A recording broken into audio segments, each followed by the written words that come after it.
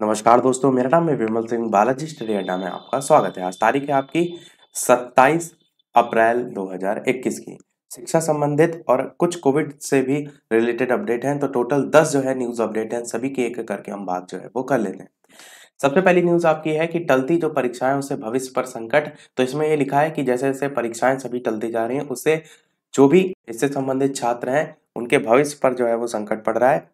और बहुत से इसमें विज्ञापन भी लिखे हैं कि उच्चतर शिक्षा जो सेवा आयोग है, उसने विज्ञापन संख्या उनचास के तहत निकली प्राचार्य पद की भर्ती का साक्षात्कार भी स्थगित कर दिया है। आयोग ने 11 तक होने वाले शैक्षिक अभिलेख जो है, उनका सत्यापन और 13 मई तक चलने वाले साक्षात्कार को भी स्थगित कर दिया है तो ये कुछ भी बताए गए नेक्स्ट न्यूज़ है, पंचायत चुनाव की ड्यूटी करने वाले 135 शिक्षक शिक्षा मित्र और अनुदेशक जो है, इनकी मृत्यु। उससे संबंधित ड्यूटी करने वाले जो सभी हैं। उन्हीं के बारे में लिखा है कि राष्ट्रीय शैक्षिक महासंघ ने मुख्यमंत्री से पंचायत चुनाव तत्काल स्थगित कर, संक्रमित जो है उनका निःशुल्क इलाज और जो मृतक है उनको 50 लाख की सहायता, यानी कि उनके जो परिजन है उनको 50 लाख की सहायता और अनुकंपा नियुक्ति देने की मांग जो है वो की है। और बाकी आगे बताया गया कि जो भी आपका पंचायत चुनाव हो रहा है, उसमें सोशल डिस्टेंसिंग जो है वो बिल्कुल नहीं हो रही है। और साथ ही साथ वर्तमान हालत को देखते हुए कोई भी चुनाव ड्यूटी भी जो है वो नहीं करना चाहता है। और जहाँ जहाँ चुनाव हो चुके हैं, वहाँ कोविड संक्रमण भी कई गुना जो है वो बढ़ गया है। और साथ ही साथ लास्ट में ये भी लिखा है कि महासंघ जो है उन्होंने पत्र पर कार्रवाई के लिए बेसिक शिक्षा मंत्री सतीश द्विवेदी और मुख्य व प्रमुख सचिव बेसिक शिक्षा रेणुका कुमार को भी जो है वो भेजा है। नेक्स्ट है, भारत में कोविड के मुकाबले के लिए 135 करोड़ रुपए जो है वो गूगल देगा।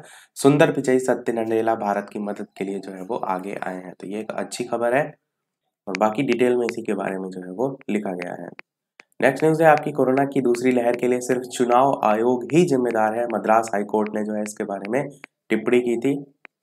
और आयोग को यह भी बताया कि सबसे गैर जिम्मेदार संस्था जो है वो कहा है? अधिकारियों के खिलाफ हत्या का मामला दर्ज हो सकता है और चुनाव के दौरान रैलियों की अनुमति देने के लिए भी जो है वो घेरा दो मई को मतगणना रोकने की भी चेतावनी जो है वो दी है। नेक्स्ट न्यूज़ है आपकी कि जो निजी संस्थान है उनके दो वर्षीय डिप्लोमा कोर्स जो है वो अमान्य ये जो है सरकारी और गैर सरकारी जो स्वास्थ्य संस्थाएँ हैं, उनसे संचालित हो रहे हैं, जैसे फिजियोथेरेपी है ऑप्टोमेट्रिस्ट है, ये तरह के कई कोर्स हैं, उनको लेकर बात की गई है। सेंटर में यह भी लिखा है कि डिग्री डिप्लोमा स्नातक, पराय स्नातक और रिसर्च कोर्स संचालन जो है, उसके लिए नेशनल कमीशन की स्वीकृति भी जो है, वो लेनी पड़ेगी। और national commission for allied and health care profession professions act 2021 का जो गठन हो गया, उसके बाद जो है ये मुसीबतें बढ़ गई। तो इस एक्ट को लेकर ही यहाँ पर बताया गया। नेक्स्ट है आपकी सीबीएसई दसवीं पास किए बिना ग्यारहवीं में प्रवेश जो है वो शुरू। तो शहर के सीबीएसई आईसीएससी स्कूलों ने क्या किया है? दसवीं के छात्रों को फॉर्म भेजकर मांगे ग्यारहवीं के लिए विषयों के जो है वो विकल्प।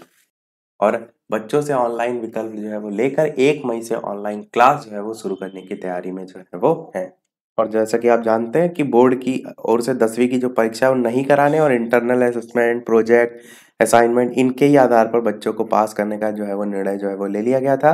तो इसीलिए अब ग्यारहवीं में प्रवेश को लेकर यहाँ पर सारी चीज़ें हो रही हैं।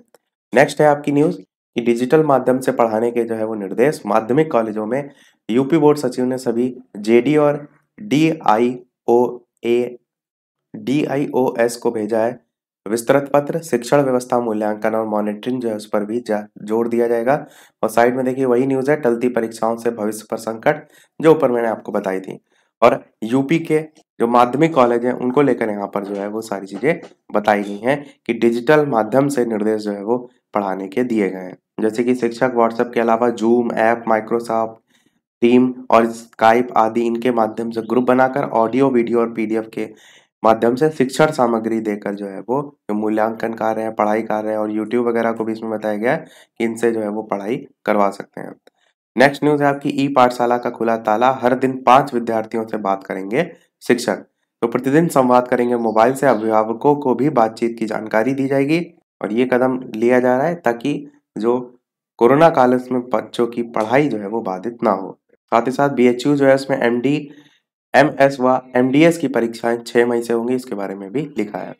नेक्स्ट न्यूज़ है, बिना दक्षता परीक्षा के प्रमोट कर दिए गए हैं 400 जो है वो रेल कर्मी तो यहाँ पर गोरखपुर से न्यूज़ है कि लखनऊ मंडल की रेल लाइन जो है, उन पर कार्य करने वाले 400 चतुर्थ श्रेणी कर्मचारी जो है, उनकी पदोन्नति जो है उसकी सौगात मिल गई है, उसी के बारे में यहाँ पर लिखा गया है।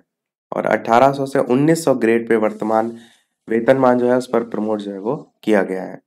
देखते हैं हमारी अगली और इस वीडियो की लास्ट न्यूज़ कि कोविड संक्रमण वाले जो कर्मचारी उनको वेतन सहित 28 दिन की छुट्टी भी जो है वो मिलेगी। तो अपर मुख्य सचिव श्रम ने जो है वो नए सिरे से शासनादेश जारी किया है, उसी में ये सारी चीज़ें जो है वो लिखी हुई हैं। तो यही थी हमारी ओवरऑल इस आज की तारीख की जो है वो न्यूज़ अपडेट इसी प्रकार डेली अपडेट पाते रहने के लिए चैनल सब्सक्राइब करके भी अवश्य जुड़ जाइएगा और नोटिफिकेशन बेल जो उसके बगल में उसको भी अवश्य ऑन कर लीजिएगा ताकि कोई वीडियो आपसे मिस ना हो। वीडियो पसंद आया हो तो लाइक अवश्य कीजिएगा। नए हैं चैनल पर सब्सक्राइब ज़रूर कीजिएगा। तो मिलते हैं अगले वीडियो में नए टॉपिक के साथ। तब तक के नमस्कार। Thank you for watching